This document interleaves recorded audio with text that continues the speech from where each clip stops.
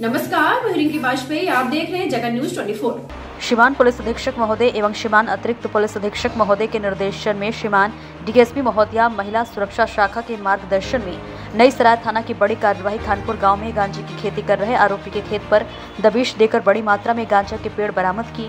थाना नई सराय पुलिस ने मैटीम के ग्राम खानपुर में आरोपी के घर के पीछे बाड़े से दो लाख इकसठ हज़ार रुपए हर गांजे के पेड़ बरामद किए हैं। मौके पर लगातार 10 घंटे कार्रवाई जारी रही। आरोपी को गिरफ़्तार कर पुलिस रिमांड पर लिया गया है। आरोपी से पूछताछ जारी है। मामले में थाना नई सराय पर धारा आठ बटा बीस एनडीपीएस एक्ट के तहत अपराध पंजीबद्ध किया गया है। थाना प्रभारी आशुतोष गुप्ता ने बताया कि पुलिस अधीक्षक महोदय की मंशा के अनुरूप नशा माफियाओं पर कार्रवाई की गई और ऐसी कार्रवाई आगे भी लगातार जारी रहेगी।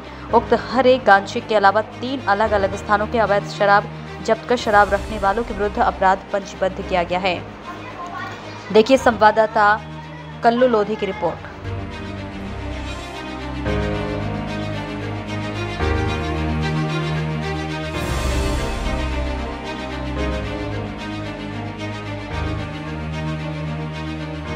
खबरों की अपडेट पाने के लिए जुड़े रहे हमारे साथ और हाँ चैनल को लाइक शेयर सब्सक्राइब करना ना भूलें। जगन न्यूज़ 24